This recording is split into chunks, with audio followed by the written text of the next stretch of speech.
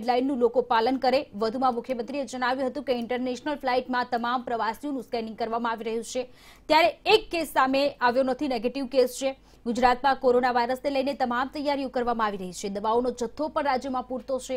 હાથ મિલાવા કરતા નમસ્તે કરવાનો આગ્રહ રાખવો તેવું પણ જણાવ્યું. કોરોના વાયરસના સંદર્ભમાં રાજ્ય સરકારે બે દિવસથી બધી કાર્યવાહી શરૂ કરી દીધી છે. એરપોર્ટ ઉપર અને આઇસોલેશન વોર્ડ્સની પણ તૈયારી રાખી છે.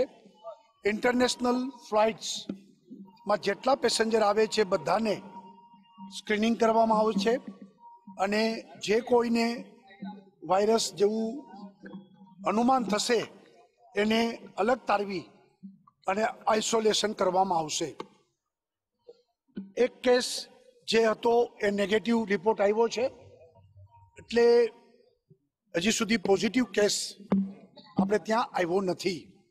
પરંતુ સરકારે એના બધા ઉપચારો માટે વ્યવસ્થાઓ અને આઇસોલેશન અને સ્ક્રીનિંગ સુરત અને અમદાવાદ ખાતે વ્યવસ્થા કરી છે.